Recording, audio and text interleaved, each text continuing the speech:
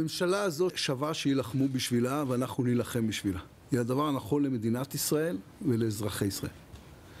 כל אחד ואחת מסביב לשולחן הזה ידע שאנחנו יוצאים למסע קשה. שינוי אף פעם לא בא בקלות. אין דבר יותר קל מלהרוס, אין דבר יותר קשה מלבנות. כדי להקים את הממשלה הזו לקחנו אחריות. מי שינהג עכשיו בחוסר אחריות צריך לדעת שהציבור הישראלי יבוא איתו חשבון. זו ממשלה היסטורית. כמו שאמר ראש הממשלה, היא שיפרה את החיים בישראל בכל פרמטר אפשרי. את הביטחון, את הכלכלה, את יחסי החוץ, את שלטון החוק במדינת ישראל. מעל הכל היא החזירה לשולחן הלאומי את הרעיון של טוב משותף.